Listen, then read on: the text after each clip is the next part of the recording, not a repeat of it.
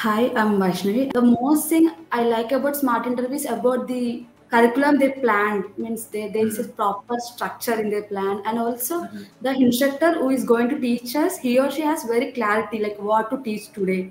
So i like that very much and apart from teaching these dsa skills and mm-hmm. keeping this apart uh, they also encourage us to think ourselves initially they are saying any approach.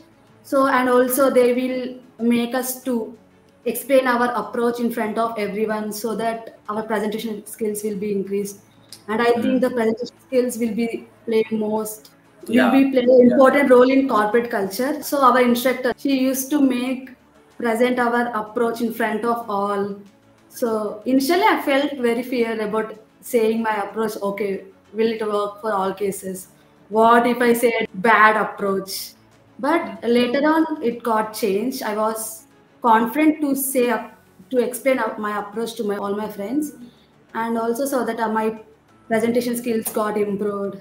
Yeah and like smart interviews the way they are teaching it was very helpful for me to crack interviews yeah. Share this video with someone who might need it.